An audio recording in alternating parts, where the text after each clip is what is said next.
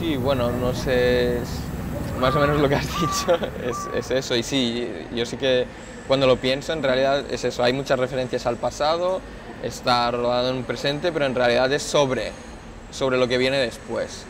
O sea, la posibilidad que existe de, de bueno, crear algo nuevo, intentar buscar otras, otras vías o, bueno, pues que no pase nada, pero cre- creo que sí que es que la posibilidad que, se ofrece en la, en la película es de buscar nuevos caminos.